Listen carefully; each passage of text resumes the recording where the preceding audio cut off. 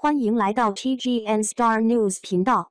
请订阅频道，所以大家不要错过当天最热门的新闻。我们今天的时事通讯包括以下内容：无名城北电考试题目剔除没有审美考生，导演以提示送分题。无名的确是争气啊！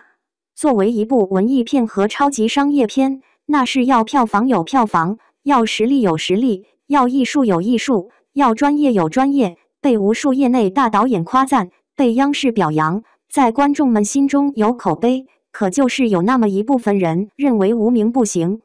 诚然，人与人的审美是有差距的，前提是不要与自己的前途有关。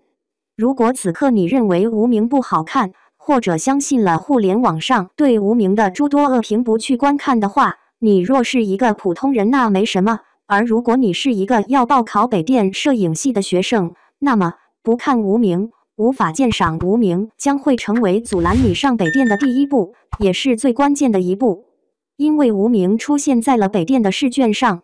流言蜚语转得再凶，恶言恶语说的再狠，无名也登上了北电的试卷。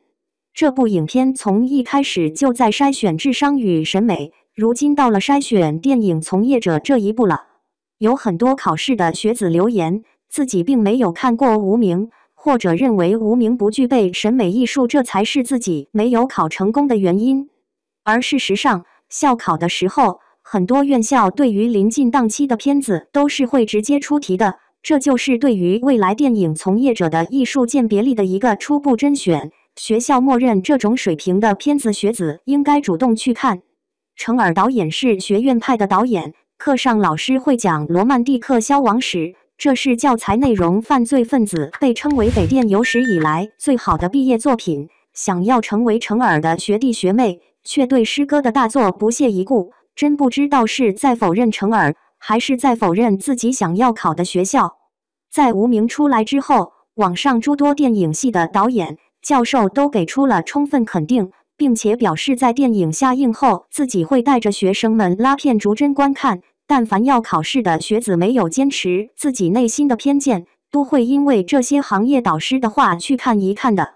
学子没有自发的选中院校认可的片子去看，就没有具备基本基础的艺术直觉与鉴别能力。这种潜台词就是，学院想要招收的学生，起码会为了这部片子走进电影院。选择与学校审美对齐的影片，可以在诸多电影中精准地捕捉到最符合学校电影艺术审美判断的片子。总而言之，北电想要看过《无名》的学子。